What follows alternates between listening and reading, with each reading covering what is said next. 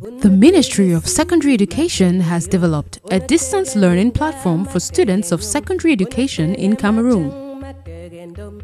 A series of lessons taught by qualified teachers for secondary school students. Under the stewardship of Professor Pauline Nalova Lyonga in collaboration with the Ministry of Posts and Telecommunications, Camtel, CRTV, and UNESCO. We are introducing distance learning as another teaching and learning method which is different from the traditional classroom setting that you are all used to. In the distance education mode, you are not with the teacher in person, so take your time, relax, listen to the teacher, take down notes, and visit the following links for any questions or answers to your questions. Take it in your stride. This is Cameroon's solution to COVID 19 and beyond. Professor Nalova Lyonga, Minister of Secondary Education. Welcome to this learning session. I am Joan Pam G4 now. I am your manual labor teacher for the class of Form 3. For Form 3. Today, we are going to move to the next lesson, lesson 3. But before we move to the lesson proper, let's do the correction of the homework you were asked to do from the previous class lesson. You were asked to give the importance of sowing roots and bulbs.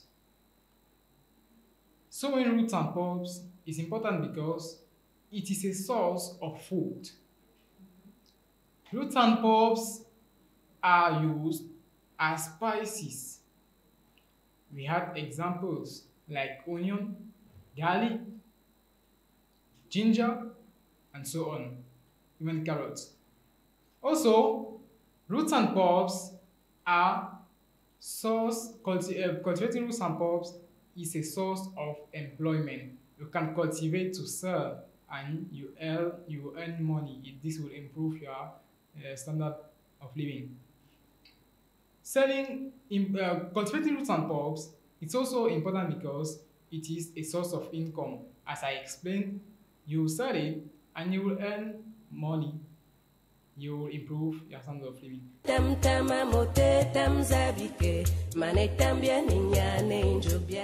So let's move now to the lesson proper. Today we are going to continue our, our learning process with lesson 3 entitled Sowing Roots and Bulbs. This lesson will be presented following this plan. We shall have at the beginning the learning outcomes of this lesson, followed by the prerequisites. Next, we are going to look at the problem situation. After that, the learning activities. Next, the summary. Also, we are going to have some evaluation, some questions given as evaluation and their corrections. Finally, you shall be given, learner shall be given a homework or an assignment to do for the next lesson. So, as presented on the lesson plan, let's start with the learning outcomes of this lesson. As objectives of this lesson, learners are expected at the end of this, by the end of this lesson, they're expected to, or they should be able to define keywords. We are going to have some keywords under this lesson. Learners are also should also be able to understand the importance of planting roots and bulbs. Lastly, learners should be able to describe the stages of planting roots and bulbs. This is all about the learning outcomes of this lesson. Let's now move to the next point, the prerequisite. Before we start, learners are expected to have knowledge on the following. One, they must have knowledge on types of roots and bulbs. They can be example of local, of local roots and bulbs. That is roots in the environment that they are cultivating. they should also have knowledge on tilling the soil. That is part of soil preparation. Let's move now to the problem situation. It's a short text. As you know, from this text, I expect you to deduce a problem. By the end of this lesson, you are expected to deduce a problem and later suggest possible solutions. So, we are going to read this short text together. Your classmate went for holiday in the village. His grandmother gave him potato seeds to sow. He does not know the first step, the first step to take. Let's take over for you. So, can you follow this? You have to deduce the problem. Your classmate went for holiday in a village. His grandmother gave him potato seeds to sow. He does not know the first step to take.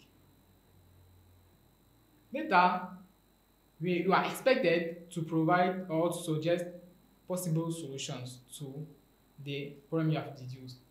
Let's now move to the learning activities. The learning activities or the lesson content are the activities we are going to find in this lesson. We are going to look at definition of keywords. Next, we are going to look at the importance of planting roots and bulbs, followed by plant the planting period, that is when to plant. Then, we shall look at where to obtain seeds. This will be followed by sowing, planting, sowing or planting roots and bulbs. And lastly, we are going to look at planting planting rules. So, let's begin or let's start with the first item, definition of key words. In this lesson, we are going to define three main words. We have planting, seed, and germination. About planting, planting is putting seeds or young plant in the ground to grow. Simple. So planting is putting seeds or young plants or seedlings in the ground to grow. Note that. Seed are, seeds are grains or ripened ovules of plants used for sowing. The next word, keyword, is germination.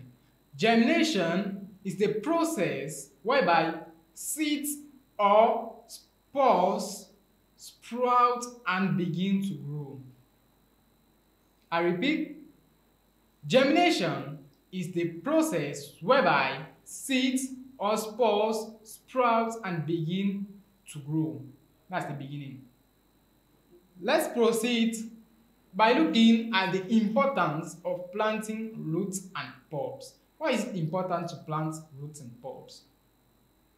Firstly, it is important because roots and bulbs are source of food and fiber. You have examples like carrot that you know very well. It's common. It's a, it's a food, for example. Also, roots and bulbs are source of nutrients.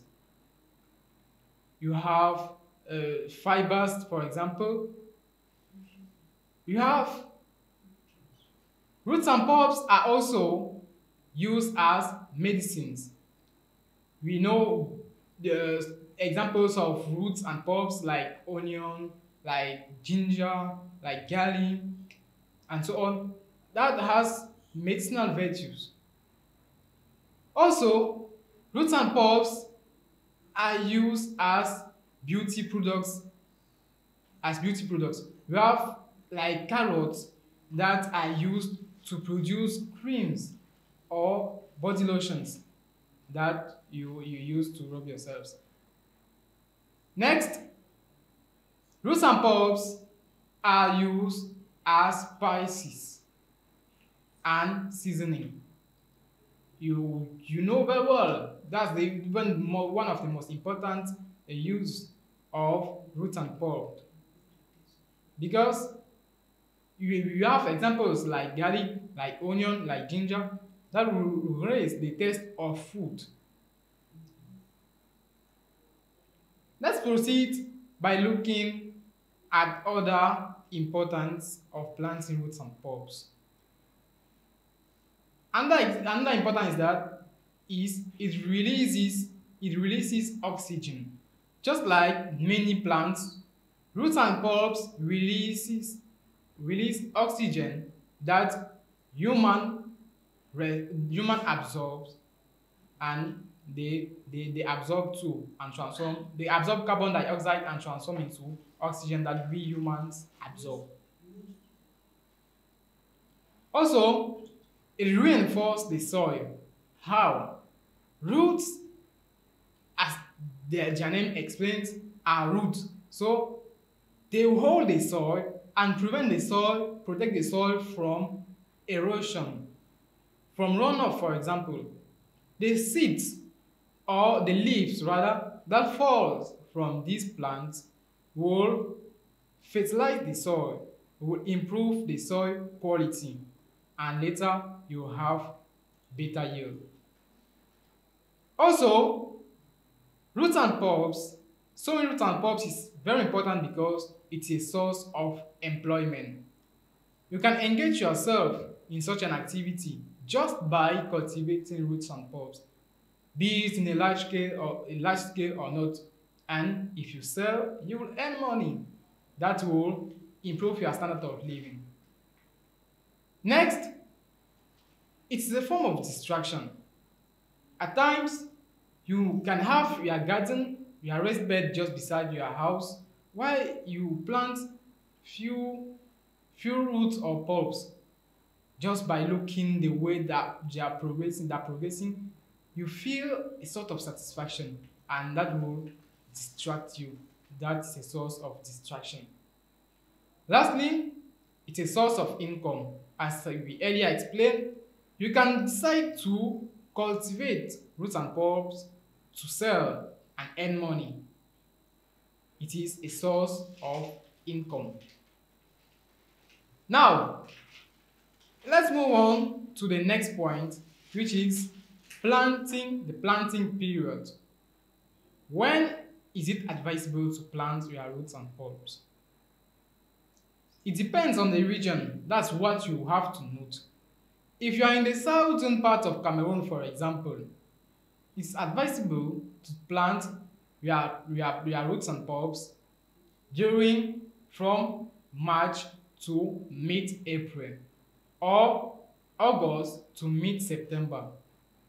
At this period, the soil is wet enough for the seedlings and the seeds precisely to germinate and for their roots to expand. Also,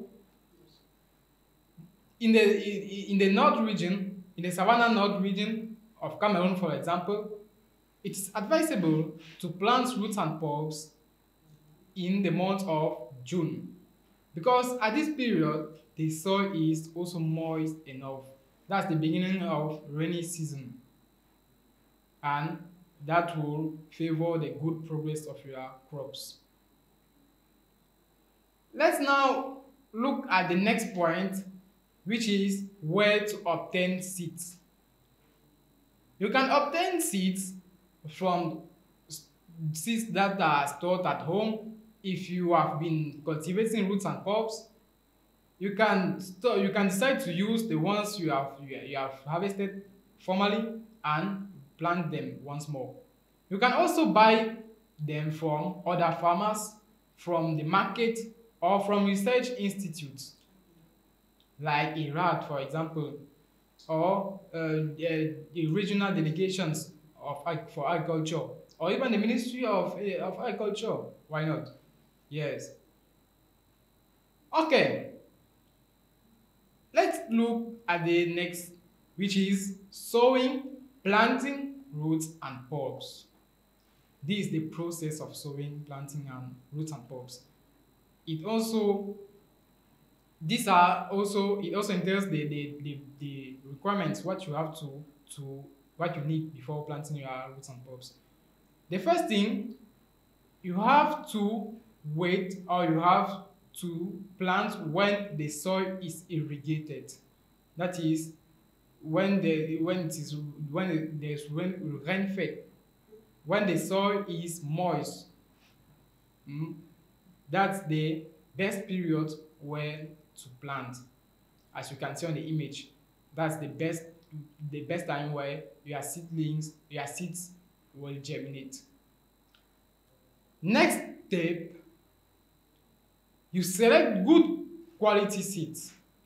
You know the result of your product when it comes to harvesting depends also depends on the type of the seedlings of the seeds you have chosen. So make sure you choose good quality seeds so as to have a good yield. Make sure you prepare the seeds for sowing and planting. It depends on the on the seeds you are on the on the species you are you are, you are planting. There are some seeds you have to to soak in water. For example you may soak onion for eight hours just eight hours or garlic for six hours and so on. Okay. There are other there are other species which you don't necessarily need to soak in water.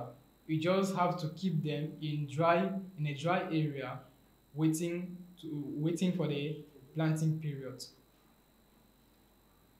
As you can see on the image you have examples of good quality seeds. You have examples of turmeric seeds for example. You have examples of garlic seeds. You can see they are healthy. Let's move to the next step. You now come to plant. You have to plant now. What you have to do is to make holes. You make your holes and then you plant your seeds. When planting take care of the direction of your seedlings of your seeds. Make sure their heads if you can say if you can say so are turn their their shoots yes are turn are upward. So the next step is to cover with a little soil as you can see on the image it depends on the method you have adopt to plant your you have adopted to plant your seeds. You can plant them you can first place them align them and then later pour little soil on or you can plant each each in the soil at a reasonable height from the soil. Okay the next is to check the planting direction as we said. You have to check the planting direction that is the shoots. You should make sure the shoots are looking upward so that they should progress normally. Let's move to the next step. You have to add fertilizer that is to improve the soil quality. It depends in your on your region you can use manure for example from kitchen like kitchen waste or from animals like the cow dung chicken excretors and so on. You can use them to improve the soil quality. You can also use chemical or uh, chemical or inorganic fertilizers to improve the soil quality. The next step is to stop weeds how can you stop weeds that is to stop the progression of unwanted plants. You put mulch round the plant as you can see on the image.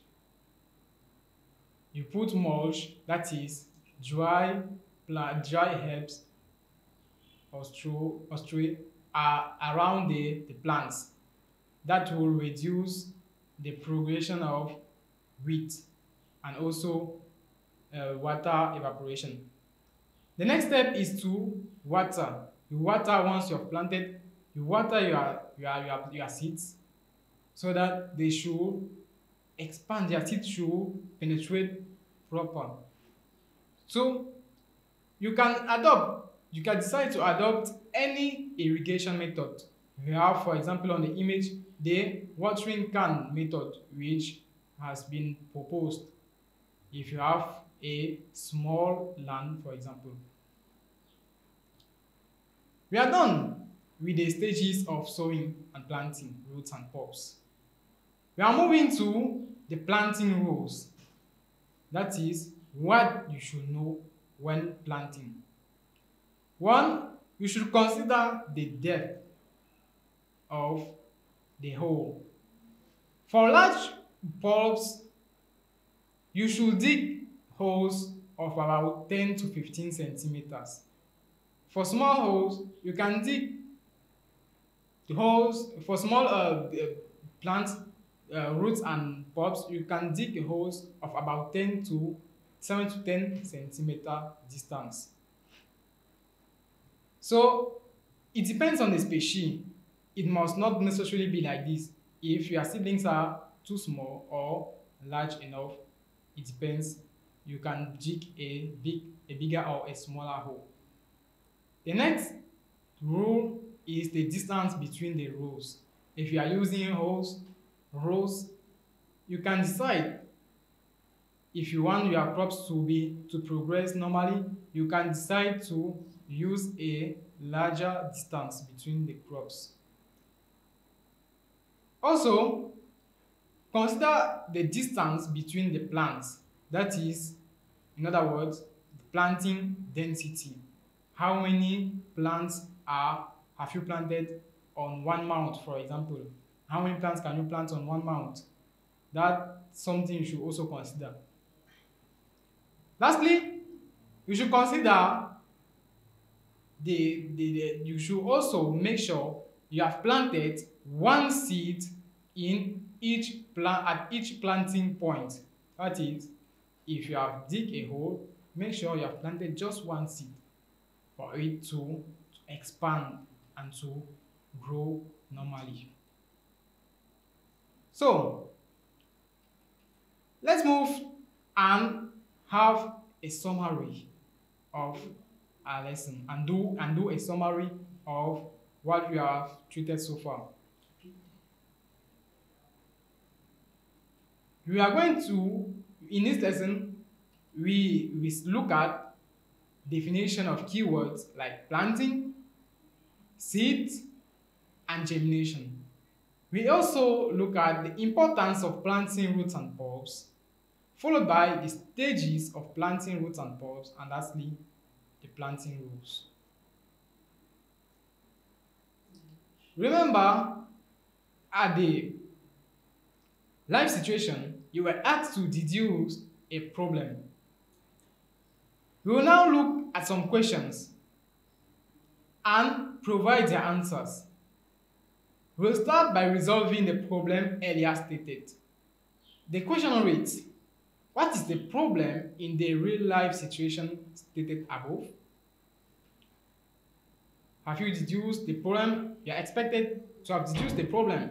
It is ignorance of the first step to follow when planting. Let's talk about what is the problem in the real life stated above it is ignorance of the first step to follow when planting. Next question. What is the first step to follow before sowing? The first step is to prepare the soil. Remember, to prepare the soil, you have to follow other steps like clearing, make can you can make uh, you can till you can make furrows and so on. The next question reads you have to answer true or false? Question one seeds are grains or ripened ripened sorry ovules of plants used for sowing Second question Planting is putting compost in the ground for the good growth of plants. Let's take over again. Answer true or false. Question 1. Seeds are grains are ripened ovules of plants used for sowing. Question 2. Planting is putting compost in the ground for the good growth of plants. Answers. Answer 1 is true. Seeds are grains or ripened ovules of plants used for sowing. Question 2 is false. Planting is not putting compost in the ground. Next question. What are the importance of planting roots of and bulbs? First importance. Answer. It's important to plant roots of and bulbs because it's a source of food. Also, it is a source of employment. And lastly, it's a source of income. Let's take over. Planting roots and bulbs is important because it's a source of food. Also, it's a source of employment. And lastly, it's a source of income. Next question. The best time to plant roots and bulbs in Cameroon is, in this equation in general, in Cameroon is A. During offset of the dry season in Cameroon. B. During the offset of the raining season. C. During mid-raining season. And D. During the end of the dry season. A. During the offset of the dry season in Cameroon. B. During the offset of the raining season. C. During mid-raining season. Or D. The answer is A. Rather, is D. During the end is A. Rather, during the offset of the raining season. We, are, we, we gave months earlier. So let's proceed with the next question. Cleaning, clearing and tilling during the first planting calendar in Cameroon is carried out during the following periods. A. Beginning of July. B. Mid-April to mid-June. C. Early March to late April. D. June to late July. What's the correct answer? C. Early March to late April. Let's take over. Clearing and tilling during the first planting calendar is carried out in Cameroon during the following periods. A. Beginning July. B. Mid-April to mid-June. C. Early March to late April. D. June to late July. The answer is C. Early March to late July. Okay.